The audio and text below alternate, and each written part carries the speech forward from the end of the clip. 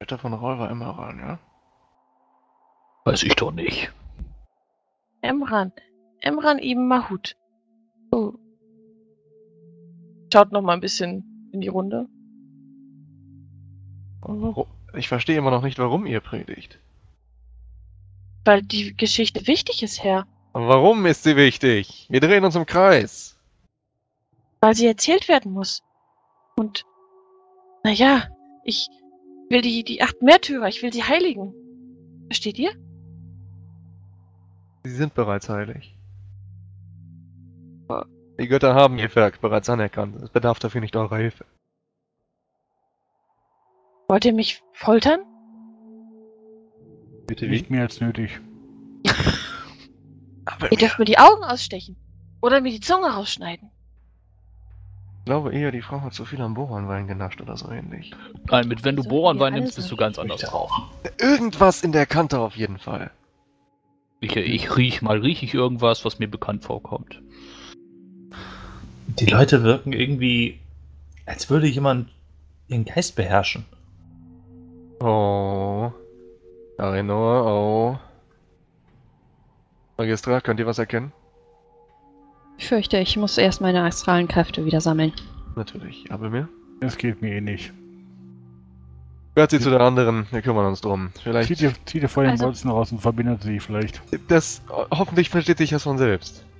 Lass ihn ruhig drin. Äh, nein, wir werden den nicht drinnen lassen. Aber das macht mir nichts. Wirklich. Ich, ich hab's doch verdient. Äh, ich hat- glaube, ihr seid ein wenig verwirrt. Vielleicht wird sie sich mit dem Laufe der Zeit. Was Wir habt ihr verdient genau? Was meint ihr damit? Ich hab es verdient, diesen Bolzen. O oder dass ihr mich foltert. Warum? Nun. Weil, naja, wie die acht. Wie die, die Märtyrer. Ihr wisst schon. Ich glaube nicht, dass das Masochismus ist. Bin ihnen da näher, wisst ihr? Ich, ich fühle mich ihnen näher. Was? Bei allen Ja. Also die sind auf jeden Fall alle ziemlich bekloppt, das, das können wir feststellen. Ja, wenn erstmal die Straßen frei sind, sollten wir sie ins neue Nietendorf bringen. So eine Art von Geistesbeeinflussung vielleicht, so wie Corinno sagt. Da- das ist nicht normal, wie die Leute reden. Könnt ihr da denn nicht irgendwie göttlich was machen? Könnt ihr denn nicht die gute Herrin Raya um Hilfe bitten, um den Geist der guten Dame zu befreien? Ist etwas möglich? Nun, theoretisch ist das möglich. Ich müsste mich ein wenig mit ihr beschäftigen und sie untersuchen. Ich habe sowas Dann- aber noch nicht gemacht, deswegen kann ich nichts versprechen. Dann tut dies doch mal. Vielleicht, wenn sie ein bisschen klarer wird im Kopf, kann sie uns auch mehr Informationen geben, wer auch immer dieser Goldschmied, Goldschmied ist. Paios war ein guter Gott. Und er machte, dass das Hela Horas sie gemeinsam verbrannte. Du ja wohl deine Klappe hältst. Ja, natürlich, Herr. Ähm, nimmt sie einfach Bestraft mich. mit, bringt sie in Foltert den mich. Keller zu der anderen und ich werde mit beiden reden. Nicht, nicht in den Folterkeller. Wer weiß, dass die mit den Geräten Folterkeller, anstehen. ihn da gegenüber. Nehmt ihr aber vorher den Bolzen raus, am Ende bringt die sich noch damit um. Wir können die noch am drin besten auch lassen. ein Tuch oder so, sonst stößt sie sich noch den Kopf an. Und so nehmt ihr den Gürtel einschätze. ab. Vielleicht sollten wir sie fesseln. Ja. Er fesselt mich. Ja. Wird wohl Vielleicht- reichen, wenn sie Ihr könnt mir auch die Zunge sitzt. rausschneiden. Vielleicht wäre sie besser im Raya-Tempel aufgehoben, wo man ein Auge auf sie hat.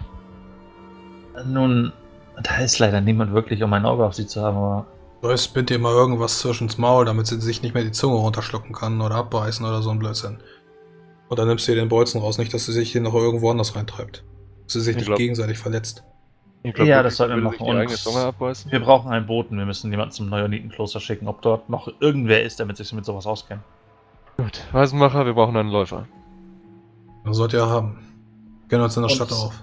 Wenn ihr noch irgendwelche anderen dieser Leute findet, bringt sie alle zu uns. Jeder, der gut. herumpredigt und kein Geweihter ist, wird eingesagt.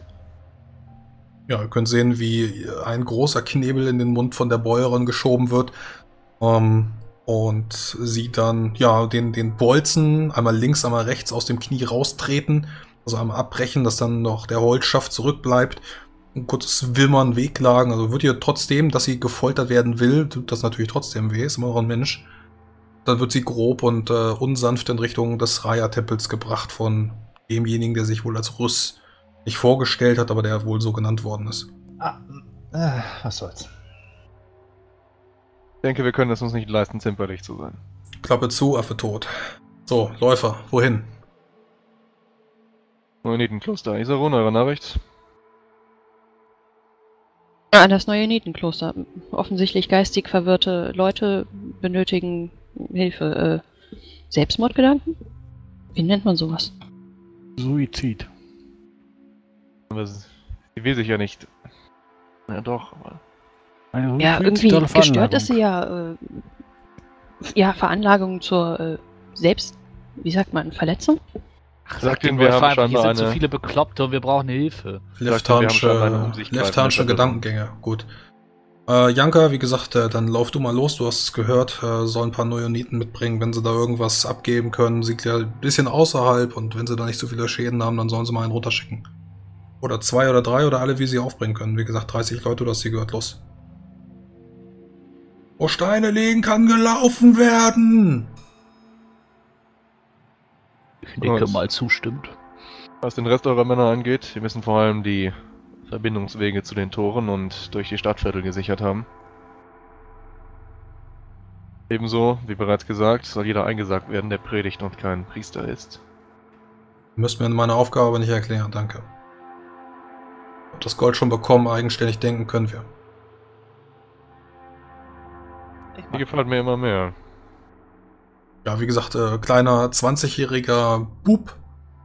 So möchtest du ihn meinen, aber kompetent bis ins letzte Mark.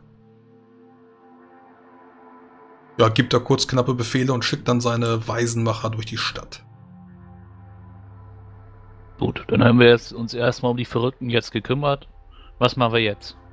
Wir sollten ein paar Schreiben aussetzen, Vollmachten erteilen für die Öffnung der Nahrungsmittelspeicher, die Einrichtung von Nahrungsmittelverteilungsstellen. Dazu benötigen wir das Reichssiegel. Habt ihr es noch? Besprechen wir das doch an einem sichereren Ort. Wo? Da hinten. Weil ihr glaubt, irgendwer könnte uns überwältigen von diesem schwachen Haufen hier oder was? Kommt Aber ja, wir mit. folgen euch. Geht gut, voran. gehen wir ins Zelt. Wenn wir im Zelt sind. Himmels Willen, aber mir. Ihr könnt doch nicht vor dem einzigen Söldnerführer, vermutlich in der ganzen Stadt, von dem Reichssiegel anfangen zu sprechen. Wäre da schon nicht mehr da. Vito war noch da. Außerdem kann er euch ja auch noch, auch wenn er sich schon zum Gehen bewegt, noch hören. Wenn die sich entscheiden, dass er sich doch ganz gern die Krone aufsetzen würde, sehen die ein bisschen alt aus. Ihr wisst doch, wie solche Söldner sind. Zehn von denen schaffe ich. Richtig. Und die anderen 40 stechen uns ab. Ja, wenn ihr nicht jeder auch zehn schafft, schon. Er mag sicherlich seine Arbeit verstehen. Da er über den Courtempel gekommen ist, wird er auch ein Mindestmaß an Söldnerehre besitzen. Aber trauen könnt ihr seinen Männern nicht. Deswegen setzt man Verträge auf. Was wir Gut, ihr könnt euch das ja haben. überlegen. Äh, überlegen, was ihr in den Vertrag reinschreibt. Äh, Habt ihr denn überhaupt noch genug Geld, um die für nächste Woche zu bezahlen? Da fehlt mich aber genug Geld, um sie das ganze Jahr zu bezahlen. Wir, verzeiht, wir haben genug Geld. Wo habt ihr das Geld her? Aus dem Keller. Ihr kommt auch noch an mehr Geld ran. Natürlich. Na dann. Na gut. Aber was, warum brauchen wir jetzt das Reichssiegel? Können wir das nicht einfach als Rat der Helden beschließen? Innerhalb der Stadt, ja. Ich denke nicht, dass jemand sich anmaßen wird, die Sache in Frage zu stellen. Nun ja, das, Außerhalb der Reichs Stadt äh, nimmt unsere Autorität wohl rapide ab. das Reichssiegel macht das Ganze noch ein wenig formeller. Aber mir, wir wollen Nahrungsverteilungsstände einrichten und keine Armee ausheben. Wir Ja. sollten allerdings eine Armee ausheben. Wir wissen nicht, ob und wann Answing kommt. Der Rabenmunder plant irgendwas, glaub's mir. Also, ich gehe mal zu so einmal in der Ecke, wasche mir erstmal die Hände, damit die wieder einigermaßen äh, sauber sind, einigermaßen zumindest. ich schubse Oh. Abel mir weg und wasche mir zuerst die Hände. Hey! Meine Hände sind schmutziger. Könnt ihr euch nicht beide die Hände in derselben Schüssel waschen? Ja, aber dann hast du doch den Schmutz vom anderen. Ja, ist auch ekelhaft. das, sieh dir das Wasser da drin an. Da sind mindestens drei Verwundete mitgewaschen worden. Oh nein. Ich brauche neues Wasser. Grinse Isarun böse an und wasche meine Hände weiter. Spritze sie so ein bisschen nass. Schubser Komme mir! Ein wenig Spaß muss sein. Ja, Ihr tragt mich noch ins Grab. Galotte hat mich nicht geschafft, aber ihr kriegt's noch hin. Können wir uns jetzt bitte konzentrieren, was wir jetzt machen? Wir wollten nach Luring suchen. Südstadt. Äh, Woche lange. Richtig. Wie lange brauchen wir dorthin? Haben wir Pferde? Nein. Pferde kommen da auch gar nicht durch, also teilweise muss man noch über irgendwelche Trümmerstücke klettern. Dann wird das ein strammer Marsch. Könnten Ja, was heißt strammer Marsch? Stunden? Wie lange dauert das? Du warst doch dabei, als wir Selinian hinterhergelaufen sind. Länger als Ja. ein, zwei Stunden wird das wohl nicht dauern, bis man da ist. Okay, Und bei, wir brauchen bei der Trümmerlage wohl eher doppelt so lange. also zwei Stunden, wenn wir aus der Stadt raus sind, oder zwei Stunden von hier? Von hier aus vielleicht vier, würde ich denken. Hin. Ist doch egal. Vier Stunden zurück. Dann wird schon dunkel sein, bevor wir wieder hierhin kommen. Dann lass uns gehen. So. Je eher, je besser. Ich Wir sollten uns aber Fackeln mitnehmen, nicht, dass wir da in hunderte von Untoten laufen. Ja, mein wirklich Fackeln würden da uns, uns dann helfen? Ja, aber mir dann sehen wir was, das ist viel besser für uns. Ja, dann, dann sehen wir, wie, unseren, wie wir unseren äh, eigenen Tod äh, entgegensehen. Aber nun gut. Ja, aber Fackeln mir sonst sind- sehen wir gar nichts. sind was ist trotzdem daran besser? Ihr habt recht. Hm. Hugo mal Mann, man macht ihn nicht wirklich verrückt. Ich würde ja sagen, wir kaufen uns welche, aber ich glaube, es hat keinen Laden mehr geöffnet. Natürlich nicht. Weiß Mir ist irgendjemand, wo die Ruine von einem ehemaligen Händler ist, der vielleicht sowas mal verkauft hat? Oh, ich glaube da hinten um die Ecke und dann, ähm, hm, Links, links, um die Ja. Ecke. ich glaube auch links. Wo ist eigentlich, wo ist eigentlich der Rondrad-Tempel? Stüggemar sammelte da doch die Leichen. Sagt oh, was zumindest. ihr fragt Äh, Sachen. direkt am Briglo-Platz. Gehen wir vielleicht auf dem Weg da vorbei, oder? Naja, direkt auf dem Weg liegt's nicht, aber es ist kein großer Umweg. Ja, das ist der Briglo-Platz. Nach, ich denke gerade an den Zwölfgötterplatz. Der Briglo-Platz war der nächste, oder? Weiter im Westen. Hm. Das ist in der Tat etwas ab vom Schuss. Nun egal, wir müssen sowieso sicher gehen, dass er überhaupt noch lebt und dass nicht nur Gerüchte sind. Also, Nein, ich, ich habe tatsächlich äh, mich schon dort umgeblickt. habt ihr ihn gesehen? Mm, Nein, er war beschäftigt. Also, das haben mir eben Leute gesagt, die dort äh, an diesem Platz wohnten und ihn freiräumten. Nun gut, das soll mir reichen. Können wir ihm von Borenanger berichten, wenn wir zurückkommen. Ja, Hatte ich nicht mal eine Laterne? Wo ist die bloß hin? Bestimmt ich glaube, ich habe kaputt. Sak ich glaub, ich hab den Sakraler liegen lassen. Ja, erinnerst dich, hast damals die Laterne zerbrochen, hast deinen Rucksack noch angezündet, als ihr in den Gängen unter Wehrheim gekrochen seid in Richtung Auchlet. Ja. Ich gehe eben die Fackeln holen. Links, rechts. Und immer geht normalerweise voran. Ja, siehst du den irgendwo? Ja, gemeinsam mit Rafim und Abelmir werdet ihr jemanden finden, der brennbares Holz hat, dass er euch dann eben auch als Fackel dann gemeinsam mit ein paar Lumpen verkaufen kann und äh, so ausgestattet könnt ihr dann in Richtung des Ronra-Tempels gehen. Wo immer es, keine Ahnung. Ähm, warten wir dann auf die anderen? Also auf die Fackelholer oder wie? Oder Ja, was? die, die gehen kurz vor und können dann an der richtigen Stelle dann äh, einmal kurz die, die paar Heller oder was auch immer das dann sind, können sie dann rüber tauschen und dann. Es ist wie gesagt eine Sache von zwei, drei Minuten. Und dann äh, habt ihr da. Also es ist kein richtiger, kein richtiger Krämer, es ist einfach nur dann jemand, der euch Fackeln verkaufen könnte. Ich will auch eigentlich nur darauf hinaus, schaffe ich es noch, mir einen Pfeilblütentee reinzuziehen. Ja, das würde ich auch machen. Wenn du, wenn du welche hast, ja. Ja, dann mache ich das noch. In der Runde kann ich ja einen abschnorren, ich bin nämlich leer. Ja. Wette, Ömer sitzt irgendwo bei seinen, bei seinen hier Tomre-Freunden und spielt Boltan oder so. Ja, die spielen Boltan. oben- Was auch immer die da oben tun. Die spielen da dieses komische Spiel mit dem Messer, dass man sich da zwischen die Finger rammt auf der Tischplatte. Oh, das Was? ist super. Das ist richtig spannend, vor allem, wenn die Leute besoffen werden. Na, da wird er gewinnen. Oh, da gibt's schon immer flinke Finger. So, aber Isaro, wo muss man denn jetzt hier bei den Trümmern lang? Das sieht ja alles furchtbar aus. Ja, hier mal einmal rüber und dann äh, über diesen zerbrochenen Kopf, arme Travia. Und genau, da drüber jetzt. Ah, So, okay, da das kommen wir schon nicht zum gesehen. Siglo-Platz. Wenn wir schon Und so über den da- Zwölfgötterplatz laufen, blicke ich mal kurz um. Steht die Statue noch da, wo wir sie gelassen haben? Die Statue ist exakt an dem Platz, ja. So, wo ist jetzt hier dieser, dieser Ron... Ah, das soll der, Der ist der große, der große, ja. Ah, okay. War denn Ja. schon jemand hier in diesem anderen Ding da? Wie heißt das nochmal? Da, wo diese ganzen armen Leute leben. Das ist doch auch hier vorne. Nee, drin war ich da nicht, aber da muss wohl, es muss schlimm gebrannt haben dort. Ich meine, gab es Okay. keine hohen Gebäude, die einstürzen konnten. Man gewinnt wohl mal, man verliert wohl mal. Ja, mögt ihr recht haben. Dann geht mal schnell in diesen Ronda-Tempel, wenn wir heute noch bis dahin laufen wollen. Und seht ihr, das ist der Wert, äh, wenn man einen Werttempel baut. Dann bleiben wir auch stehen, wenn es mal hart wird. Nun gut, treten wir ein. Am Eingang könnt ihr sehen zwei Sandsteinfiguren, Löwen, die Löwen von Nebachot, hier Wacht halten. Da könnt ihr durch das riesige Tor gehen und äh, empfangen werdet ihr von dem Geruch nach Tod, nach Gewürzen, nach Lavendel.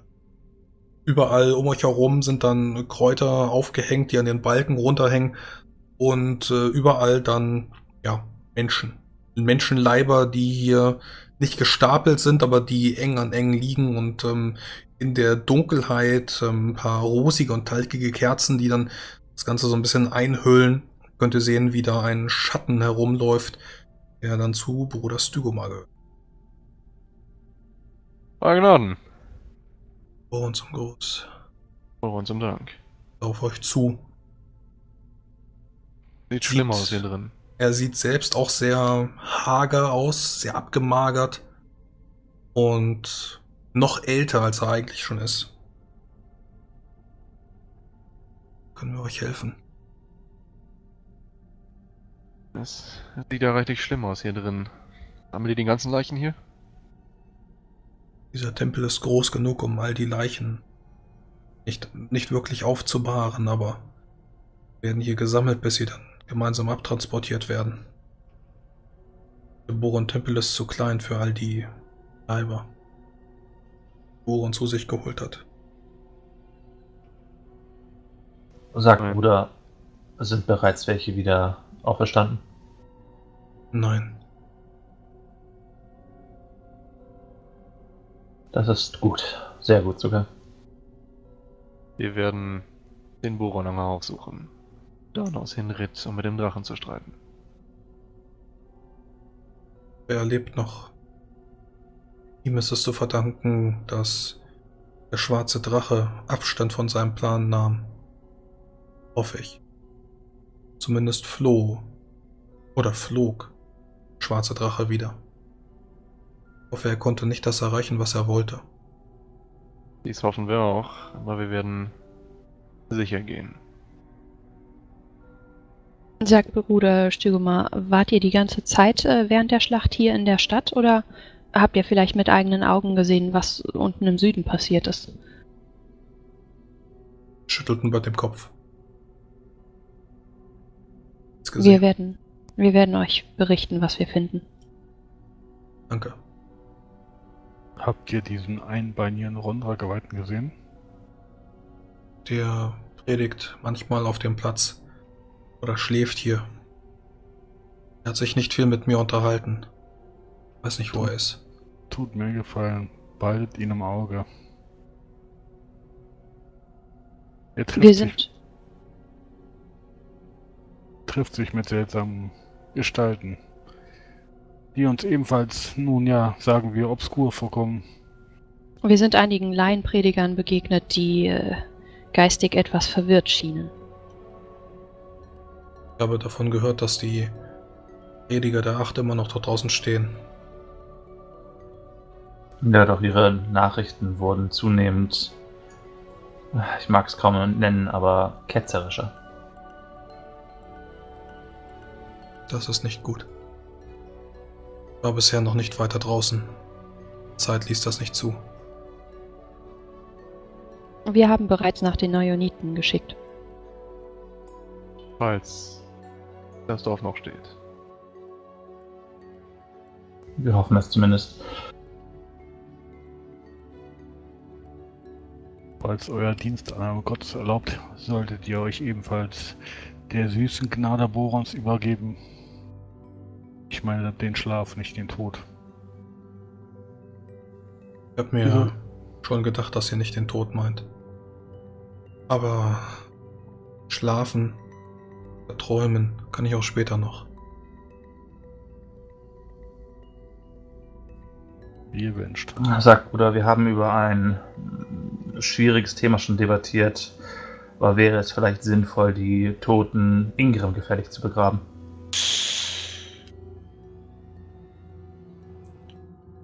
Ich habe noch keinen Überblick. Alles, was ich sehe, ist, dass Menschenleiber reingebracht werden und rausgebracht werden, dass ihre Körper zerstört sind. Ich glaube, es wäre tatsächlich sinnvoll. Wenn wir richtig liegen, dann sind da draußen noch Tausende und Abertausende von Toten. Ich weiß nicht, wie viele Brüder, wie viele Brüder von Boron ich hier noch in dieser Stadt habe, die, die noch nicht bei unserem Herrn sind. Aber alleine kann ich das nicht schaffen. Die Gräber einsegnen. Mir fehlt die Kraft. Wenn wir welche sehen, sollen wir sie zu euch schicken als zentraler Sammelpunkt? Ja. Ich werde sie mir vorher allesamt betrachten, bevor wir sie den Flammen übergeben und dann auf dass sie von Reton gewogen werden. Vielleicht könnt ihr uns ein Schreiben aussetzen, um, um Hilfe nach, Bo nach Puni zu schicken. Ja, aber. Äh, Schreibt ihr einen Brief und ich werde ihn siegeln. Ich werde ihn lesen, siegeln. Ich kann mich jetzt nicht hinsetzen und klare Da- Gedanken formulieren. Schreibt ihr einen Brief und ich werde ihn siegeln. Gut. Euer Gnaden. Das werde ich tun. Passt auf, wenn ihr Thanos von Loring sucht. Überbringt ihm meine Grüße. Wir werden.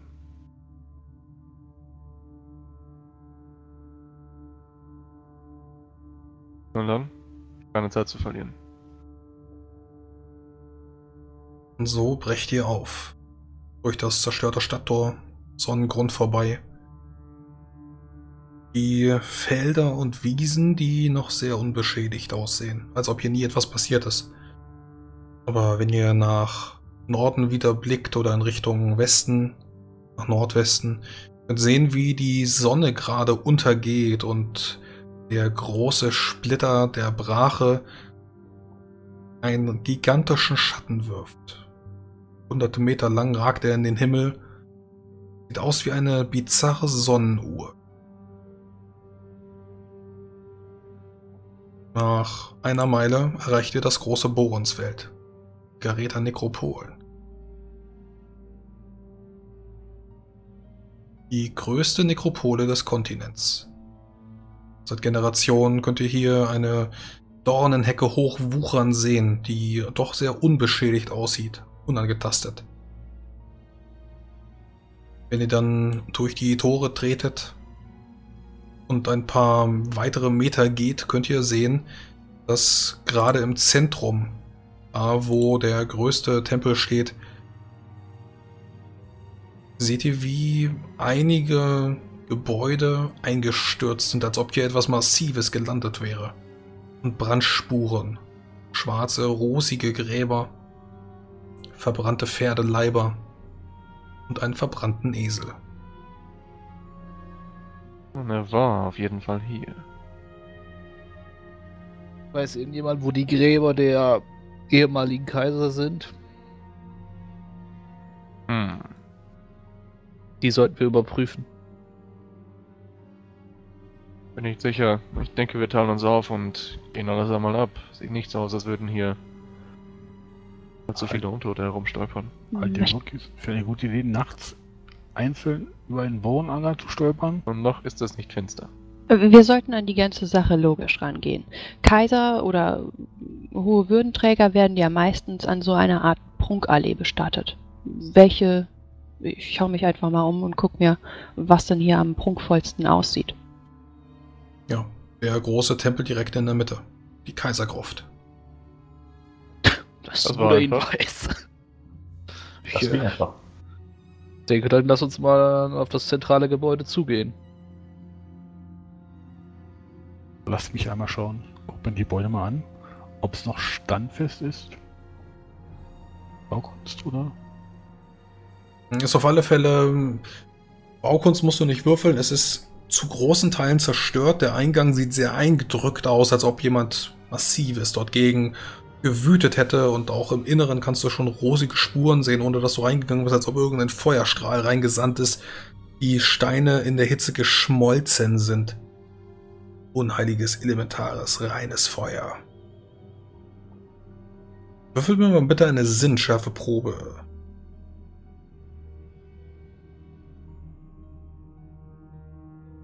Wenn ihr euch diesen Bohrenanger anseht. Hier, Alles nicht so viel. alles nicht so viel, Ömer ist nicht da. Man merkt's. Wir sind blind. Iserun und Abelmir können jeweils äh, links und rechts neben dem Esel zumindest Drakundas und Knardukas wieder aufsammeln. Von einem Torwaler fehlt jegliche Spur. Die Kugel und die Axt sind unbeschädigt. Aber vom Esel selbst ist auch nur noch Schlacke übrig, also. Ja, das kann man mit einer, mit einer kleinen Tierkunde und mit dem Wissen, dass Iseron eben einen Esel losgeschickt hat, kann man das eben identifizieren. Und Jalan stolpert, ja, turmt umher, streicht über irgendwelche schwarz verbrannten Gräber, über irgendwelche Hügel. Jaras ebenso. Ein bisschen an zu weinen, wenn er das ganze Chaos sieht. Rafim kann hinter einer der Grüfte, das muss wohl irgendwie eine Gruft von Mersing oder von wie hieß der Mann, den ihr sucht? Eine Gruft von Luring sein. Kannst du sehen, wie da jemand äh, schwer verbrannt liegt, hat den Helm wohl abgenommen und windet sich da wohl, jammert. Ist das Duanus von Luring? Das ist ein bisschen näher auf ihn zu. Macht bitte Licht. Dunkelheit. Sie ist so finster. Hey, hey, ich habe diesen Luring gefunden. Guck mal, mit doch. der Fackel und Leuchtung über sein Gesicht rüber. Ich eile herbei. Hm, schwer vernarbt. Könnt ihr sehen, wie Luring da liegt. Ähm, Kettenhemd ist wohl auch weggebrannt, hat den Helm dann äh, verbeult, ähm, weggeschmissen, von sich gerissen. Hat sich dann noch versucht, äh, Teile der Kleidung, Teile der Rüstung abzuschneiden. Liegt dann da schwer vernarbt, schwer verbrannt dort und wimmert. Angst vor der Dunkelheit. Nachtlicht, bitte spendet mir. Kann diese Dunkelheit nicht ab. Bleib ganz ruhig. Ich Kann doch, aber mir halt die Fackel näher heran. knie mich mal näher hin zu ihm Noch und mehr Licht, das reicht nicht. berühre mal seine Augen. Hat er Augen offen? Hm, Augen sind offen, er schaut doch auf die Fackel, einen panischen, panischen Blick. Brauchen viel mehr Licht. Fängt dann zu dämmern. Chaos, das ist ein Fall für euch. Ja, Ich stehe irgendwie so hinter euch, drehe mich immer wieder um nach jedem Schatten, den ich irgendwie bewegen sehe. Ich mag diesen Ort ganz und gar nicht. Ich beobachte mal die Bewegung von den Pupillen von Davos von Luring. Also ist sein Augenlicht mit in, in Mitleidenschaft gezogen worden? Nee, die, die funktionieren, seine Augen funktionieren, aber er hat äh, schreckliche Angst vor der Dunkelheit.